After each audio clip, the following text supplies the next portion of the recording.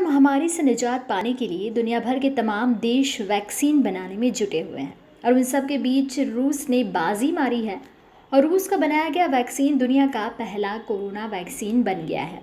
हाल ही में खबरें सामने आई थी कि 12 अगस्त को रूस के इस वैक्सीन का रजिस्ट्रेशन करा लिया जाएगा और अब रूस के राष्ट्रपति व्लादिमीर पुतिन ने घोषणा की है कि हमने कोरोना की सुरक्षित वैक्सीन बना ली है और देश में रजिस्टर्ड भी करा लिया है। मैंने अपनी बेटी को पहली वैक्सीन लगवाई है। रूस की vaccine Gam Covid Vac Lyo को रक्षा मंत्रालय और Gamaleya National Centre for Research on epidemiology और माइक्रोबायोलॉजी ने मिलकर तैयार किया है। अपने अब तक के सभी परीक्षण में ये वैक्सीन सफल रहा और आखिरकार इसकी रजिस्ट्रेशन की प्रक्रिया भी अब पूरी हो चुकी है। सितंबर में इसका निर्माण कर अक्टूबर में इसे लोगों को दिए जाने की योजना पर काम किया जा रहा है। रूस के रक्षा मंत्रालय के मुताबिक वैक्सीन ट्रायल के परिणाम सामने हैं। उनमें बेहतर इम्यूनिटी विकसित होने के प्रमाण मिले हैं। दावा किया कि किसी वॉल्टियर में नेगेटिव साइड इफ़ेक्ट देखने को नहीं मिले।